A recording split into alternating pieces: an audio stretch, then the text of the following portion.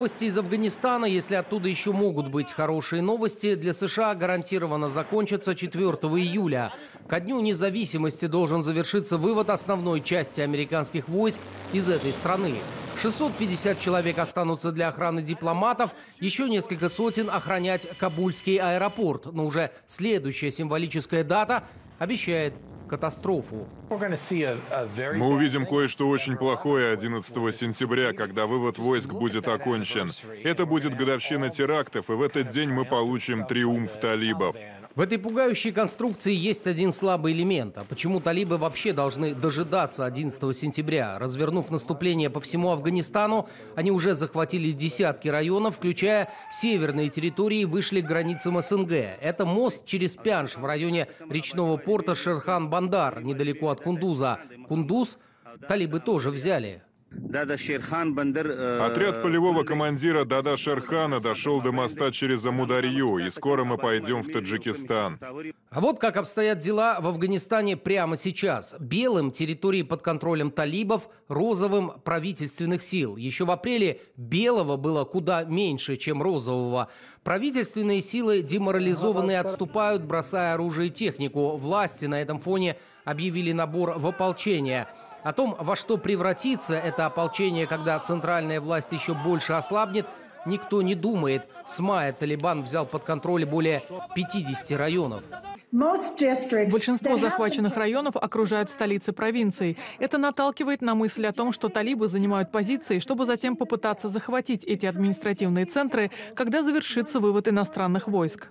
Сделать это с каждым днем для мятежников становится все легче. В их руках полно американской военной техники и вооружения. Под контроль талибов переходят укрепленные базы. В провинции Балх, например, захвачены десятки автомобилей.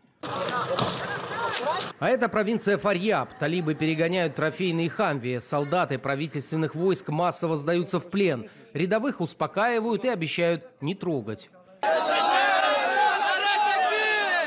Многие из них, конечно, не разойдутся по домам, а просто встанут под новое ружье. Важно то, что они атакуют север. Я освещал конфликт в Афганистане в 90-е, когда Талибан боролся за власть в стране. Тогда у них ушли годы, чтобы пробиться на север. То, что происходит сейчас, должно внушать опасения жителям Афганистана. А вот рассчитывать на то, что испугаются в Вашингтоне, одумаются и что-то изменят, почти бессмысленно. Вывод войск к годовщине терактов 11 сентября для Джо Байдена одно из его личных решений, и обреченный выслушивать байденовские монологи президент Афганистана понял это еще с порога Белого дома, который недавно переступал. Вы знаете, что наши войска покидают страну, но наша поддержка Афганистана не прекращается.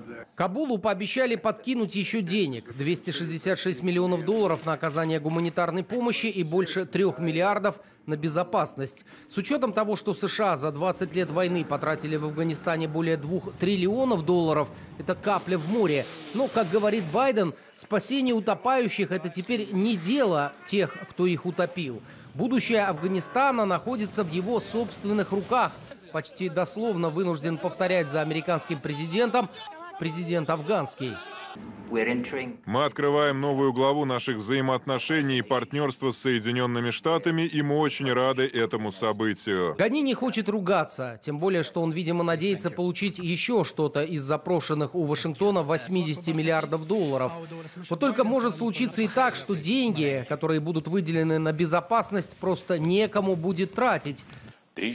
Проблема заключается в том, что сегодня Афганистан полностью брошен. Есть угроза, что страна снова окажется превращена в базу для террористов.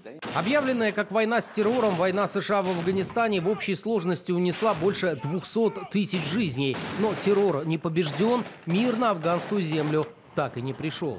Они оставляют страну в состоянии конфликта. Было потеряно столько жизней. По крайней мере, мы знаем, кого за это винить. В самой Америке, где никогда не признают свою коллективную вину за происходящее, на этот счет мнения, что называется, разделились.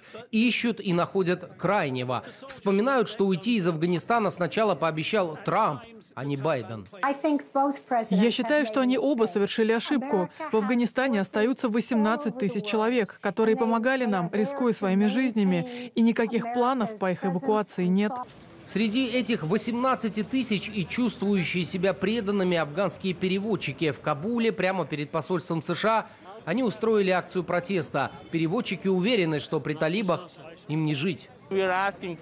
Мы просим справедливости, мы просим безопасности и защиты.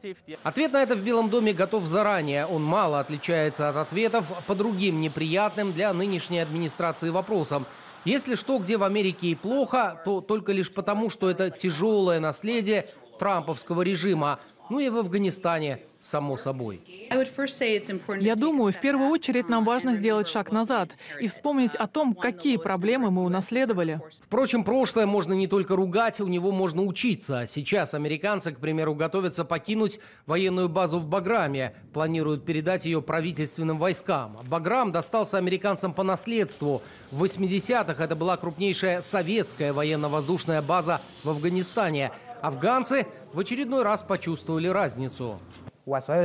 Оборудование американских войск на базе «Баграм» было уничтожено. Когда мы попросили американцев передать его нам, они отказались. Шурави покидали «Баграм» совсем по-другому. Когда советские войска покидали страну, они оставили все свое оборудование и технику. Все было передано армии Наджибулы. Благодаря этому правительство Наджибулы тогда продержалось еще три года. У нынешнего афганского руководства столько времени, вероятнее всего, нет. Американское разведсообщество пришло к выводу, что официальные афганские власти, оставшись один на один с талибами, продержатся не больше полугода.